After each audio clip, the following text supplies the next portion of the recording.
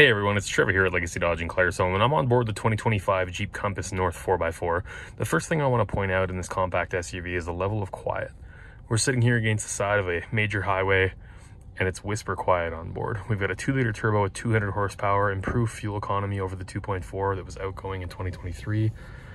Cruise, Bluetooth, nice clear instrumentation, forward collision warning, lane departure warning, this gorgeous 8.4 inch touchscreen, climate control with air conditioning, four-wheel drive lock and Selec-Terrain with an electronic parking brake, heated seats, leather wrapped wheel, which is also heated, all-weather mats, you've got an SOS button on your rearview mirror, just a great place to spend time, automatic headlights, you can control the brightness of your gauge cluster and your interior lighting, just a fantastic, well thought out design in a comfortable, safe, and practical SUV. You should definitely come and experience this for yourself and give us a call to do so. 403 625 4555. Take it home today.